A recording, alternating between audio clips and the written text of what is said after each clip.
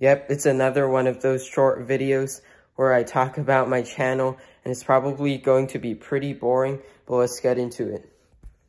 Okay, so recently I've started a series showing you my uh, daily diet and my training.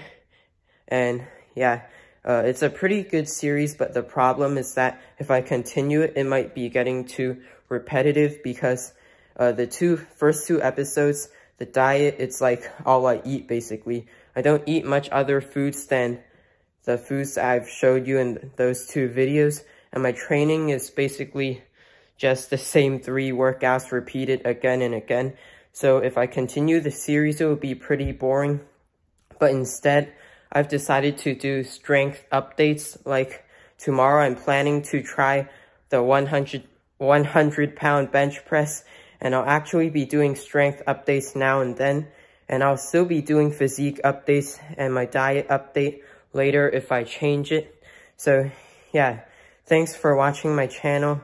And yeah, I'll see you guys next time. Peace out.